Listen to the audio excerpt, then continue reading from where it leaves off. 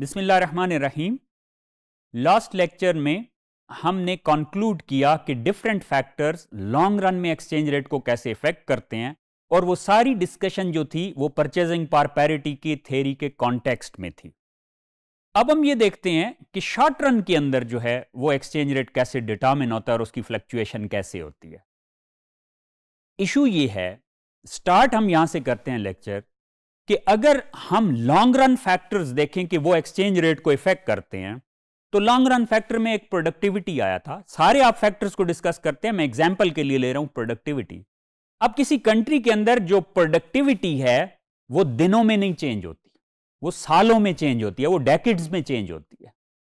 अब इसका मतलब यह है कि अगर प्रोडक्टिविटी एक्सचेंज रेट को इफ़ेक्ट करती है और एक प्रोडक्टिविटी खुद चेंज होने के लिए साल हर साल टाइम चाहिए तो फिर तो एक्सचेंज रेट्स को भी सालों के बाद चेंज होना चाहिए। अब एक्सचेंज रेट हम देखते हैं तो वो डेली बेसिस पे चेंज हो रहा होता है, कभी कम, कभी ज़्यादा और फिर ओवर टाइम उसमें एक ट्रेंड होता है। जबकि दूसरी तरफ़ हमने लॉन्ग रन फैक्टर्स पढ़े, जो लॉन्ग रन में जाके एक्सचेंज रेट को इफ़ेक्ट करते हैं तो फिर सवाल जेन में आएगा कि अगर वो सारे फैक्टर्स लॉन्ग रन में एक्सचेंज रेट को इफ़ेक्ट करते हैं तो शॉर्ट रन में एक्सचेंज रेट किस वजह से चेंज हो रहा होता है? ये एक पॉइंट है, क्योंकि बहुत ज़्यादा फ्लक्चुएशन शॉर्ट रन में भी आपको नज़र आती है। अब ये जो है, ये बेसिकली डिस्कस करेंगे हम इस लेक्चर में और अगले लेक्चर में। तो हमें यह समझने के लिए कि शॉर्ट रन में एक्सचेंज रेट क्यों चेंज हो रहा है, उसके लिए हमें एक डिमांड एंड सप्लाई मॉडल चाहिए जो फॉरेन एक्सचेंज से रिलेटेड हो और उसके अंदर जो है, वो फॉरेन एक्सचेंज की प्राइस यानी कि एक्सचेंज रेट डिटर्मिन होता हो। तो हम शॉर्ट रन के लिए जिस अप्रोच पे जाएँगे वो एक्सचेंज रेट डिटर्मिनेशन की एसेट मार्केट अप्रोच कहलाती है। अब हमने जब लॉन्ग रन को डिस्कस किया था तो हमने कहा था कि जो एक्सचेंज रेट है, वो basically finally goods and services की ट्रांजैक्शन में चूँकि यूज़ होता है तो रियल फार्म में जो एक्सचेंज रेट होता है, वो क्या होता है कि गुड्स एंड सर्विसेज़ की प्राइस दूसरे मुल्क की गुड्स एंड सर्विसेज़ की टर्म्स में। लेकिन जब आप एसेट्स में आते हैं तो आप गौर करें कि जो एक्सचेंज रेट होता है वो बेसिकली एक कंट्री के एसेट की, दूसरे कंट्री की एसेट में प्राइस होती है। नॉमिनल फॉर्म में जो एक्सचेंज रेट होता है, मसलन करेंसी एक एसेट है तो एक्सचेंज रेट तो होता ही एक करेंसी की वैल्यू दूसरी करेंसी के टर्म्स में, या एक बैंक एक करेंसी के बैंक डिपॉजिट का दूसरी करेंसी के बैंक डिपॉजिट की टर्म में वैल्यू होती है। तो अब बैंक डिपॉजिट खुद एसेट है। तो इसका मतलब एक्सचेंज रेट खुद है क्या चीज़? ये एक एसेट की वैल्यू का नाम है। तो अगर ये एसिड की वैल्यू का नाम है तो इसका मतलब ये है कि हमें एसिड मार्केट अप्रोच से जो है वो एक्सचेंज रेट की डिटर्मिनेशन सोचनी है। और एसिड मार्केट के लिए हमने पोर्टफोलियो चॉइस थेरी को इस कोर्स में बड़ी डिटेल में डिस्कस किया हुआ है कि पोर्टफोलियो चॉइस थेरी क्या होती है। तो इसका मतलब यह है कि हम एक्सचेंज रेट को अगर एसिड कंसीडर कर एसिड की प्राइस कंसीडर करें फॉरेन एक्सचेंज एसिड है, और फॉरेन एक्सचेंज रेट जो है वो उस एसिड की प्राइस है तो अगर हम एसिड्स के कॉन्टेक्स्ट में देखें तो हम पोर्टफोलियो चॉइस थेरी को यूज़ करेंगे एक्सचेंज रेट को डिटर्मिन करने। हाँ यह ज़रूर है कि जो हमने लॉन्ग टर्म फैक्टर्स पढ़े थे, वो समटाइम शॉर्ट रन में भी रोल प्ले कर सकते हैं। ऐसा नहीं है कि वो चार फैक्टर शॉर्ट रन में रोल ही नहीं प्ले करेंगे। वो शॉर्ट रन में भी कर सकते हैं, लेकिन एसिड मार्केट अप्रोच के थ्रू करेंगे।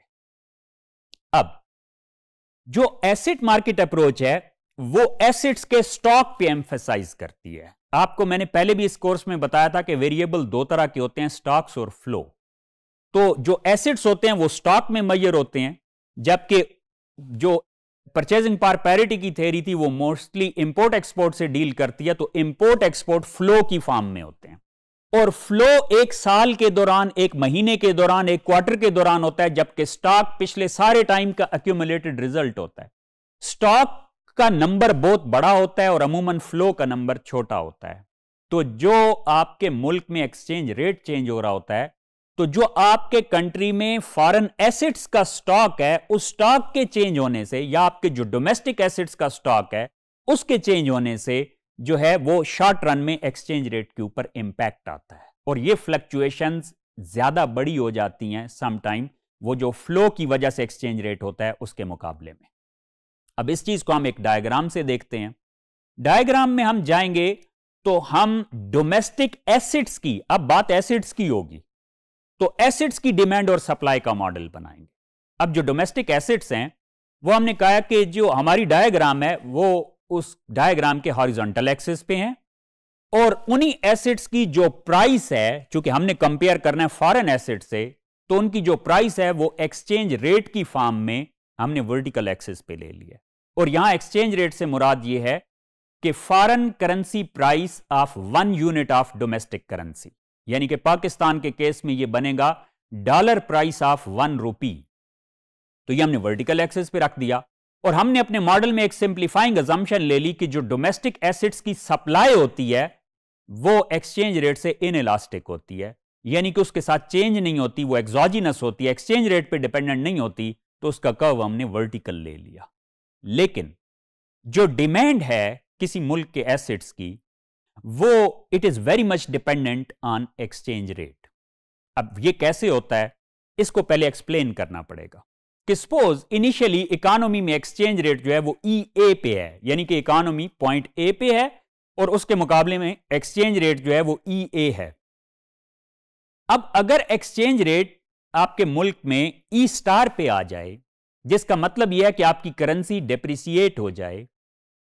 जबकि लॉन्ग टर्म एक्सपेक्टेशन आपके कंट्री के एक्सचेंज रेट की वो चेंज ना हो, इसका मतलब यह है कि शॉर्ट रन में आपकी इकोनॉमी में एक्सचेंज रेट ई ए से ई स्टार पे आ गया। लेकिन लॉन्ग रन की टेंडेंसी यही है कि वो ई ए पे वापस जाएगा, क्योंकि लॉन्ग रन का एक्सचेंज रेट की एक्सपेक्टेशंस नहीं चेंज हुई। तो नतीजा ये होगा कि एक्सपेक्टेशंस लोगों की ये है कि फ्यूचर में ये करेंसी एप्रिसिएट होगी। अब जिस करेंसी ने फ्यूचर में एप्रिसिएट होना है तो एप्रिसिएशन का मतलब यह है कि इस करेंसी के अंदर जो आपका एसेट होगा, उसका रेट ऑफ़ रिटर्न बढ़ जाएगा, क्योंकि यह करेंसी वैल्यू में स्ट्रांग हो जाएगी। जिस करेंसी में आपका एसेट हो, उसकी वैल्यू बढ़ जाए तो आपको उसका फ़ायदा हो जाएगा। तो नतीजा यह होगा कि लोग उस कंट्री के एसेट्स की डिमांड बढ़ा देंगे। यही वजह है कि जब ई ए से एक्सचेंज रेट ई स्टार पे पहुँचता है तो जो एसिड्स की डिमांड है, वो ए के मुकाबले में बी पॉइंट पे ज़्यादा हो जाती है। तो जितना जितना करेंसी शॉर्ट रन में डिप्रिसिएट होगी और उसमें एक्सचेंज रेट नीचे आता जाएगा तो जब तक लॉन्ग टर्म एक्सपेक्टेशंस नहीं चेंज होती, उस तक ये होगा कि इस कंट्री के जो एसेट्स हैं, उनकी डिमांड बढ़ती जाएगी। तो ओवरऑल जो डिमांड का वह एसेट्स का, वो नेगेटिवली स्लोप्ड होगा। तो अगर हम सप्लाई और डिमांड को मिला दें कंबाइन कर दें तो पॉइंट बी पे इक्विलिब्रियम बनता है और ये इक्विलिब्रियम ई स्टार यानी कि इक्विलिब्रियम एक्सचेंज रेट बनाता है। यानी कि हम कह सकते हैं कि शॉर्ट रन में जो एक्सचेंज रेट है, वो एसिड्स की डिमांड और सप्लाई के इंटरसेक्शन से बनता है और वो इक्विलिब्रियम वैल्यू ई स्टार है। अगर किसी वक्त आपकी इकोनॉमी पॉइंट ए पे पहुँच जाए तो पॉइंट ए का मतलब यह है कि गिवन एक्सचेंज रेट के हिसाब से आपकी इकोनॉमी में जो डिमांड है, वो सप्लाई से कम है। आपके एसिड्स की डिमांड ए पॉइंट पे है, जबकि सप्लाई वर्टिकल सप्लाई कर्व के हिसाब से ज़्यादा है। तो इसका मतलब है एक्सेस सप्लाई हो गई है आपके एसिड्स की। तो चूँकि आपके एसिड्स आपकी डोमेस्टिक करेंसी में है, जब उनकी एक्सेस सप्लाई हो जाएगी तो इसका मतलब है कि आपकी करेंसी की वैल्यू गिरेगी क्योंकि आपकी एसेट्स की वैल्यू गिरेगी। जब वो गिरेगी तो एक्सचेंज रेट कम होगा और वो ई स्टार पे आ जाएगा। और अगर किसी वक्त इकोनॉमी पॉइंट सी पे हो तो इस एक्सचेंज रेट पे होगा ये कि करेंसी के जो डिनोमिनेटेड आपके एसेट्स हैं लोकल करेंसी में, उनकी डिमांड ज़्यादा और सप्लाई कम है। तो एक्सेस डिमांड की वजह से जो आपके डोमेस्टिक एसेट्स हैं, उनकी प्राइस बढ़ना शुरू होगी और नतीजा ये होगा कि एक्सचेंज रेट बढ़ते बढ़ते ई स्टार पे जाएगा। तो इसका मतलब है अल्टीमेट इक्विलिब्रियम ई स्टार पे रहेगा। Thank you